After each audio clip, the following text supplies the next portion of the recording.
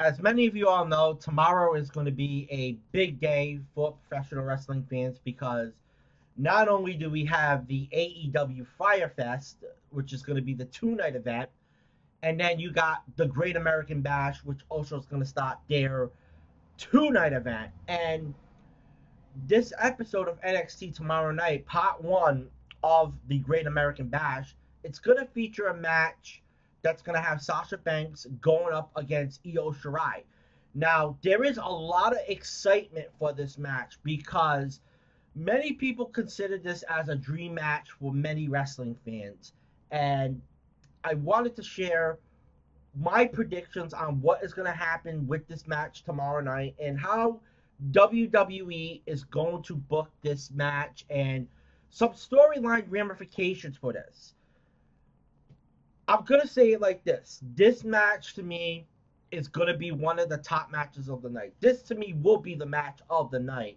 It wouldn't be a surprise, despite the fact that we have a couple of matches that are going to be on that card, like the uh, Fatal Four Way Women's match to determine who will go up against uh, Io Shirai at, on a future NXT episode or a future network special. We don't know. We'll have to see what happens with that.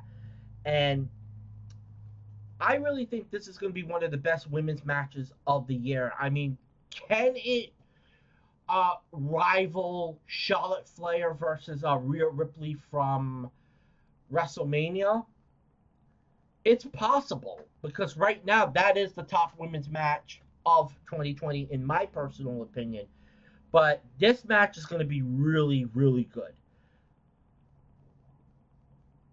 My prediction for the match and this is I'm going with my heart on this one.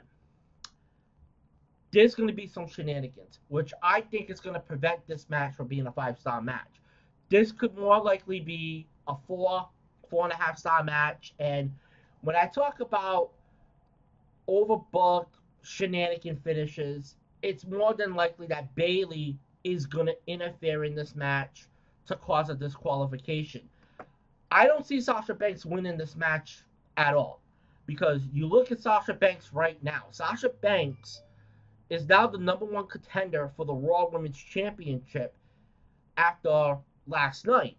So she is going to be going up against uh, Asuka at the Extreme Rules, the horror show, which right now I think it's going to be a horror show to say the very least. But we'll talk about that another day. And I know a lot of wrestling fans, they hate disqualifications. I do. But in a scenario like this, it makes sense here because you want to protect Sasha Banks here because, like I said, Sasha Banks goes up against Asuka.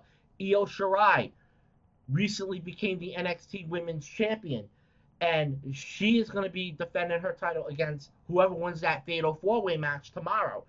Now, this saves the rematch for a pay per view down the road. Uh, could possibly be, like I said, at an NXT pay per view or SummerSlam. Think about it for a moment. We had, like I said, Charlotte and Rhea Ripley at WrestleMania. Now you can have Sasha Banks and Io Shirai at SummerSlam. But also, it's going to set up a really fun tag team match. And I'm going to say this right now. This is probably going to be night two of the Great American Bash.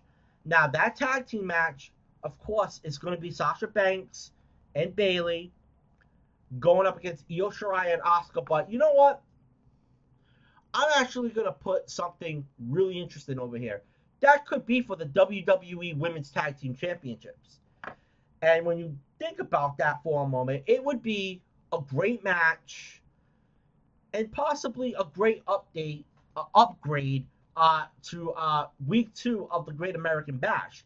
Now, we know that Asuka is currently feuding with Sasha Banks and Bayley, and it makes sense for her to come out at Great American Bash and help Io Shirai.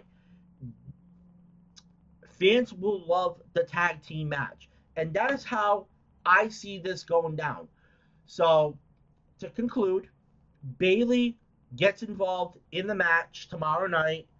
That's going to lead to Asuka coming out, making the save, it leads to a tag team match, possibly for the women's tag team titles.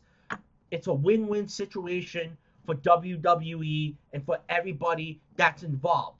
So let me know what you think in the comment section below here on YouTube.com. Of course, uh, what I'm going to be doing on Thursday, I will be putting up the Wrestling Observer Radio's uh, review of the AEW's Fyter Fest and the NXT's Great American Bash. So until then, check that out. Subscribe to my channel. I am out. Deuces and love.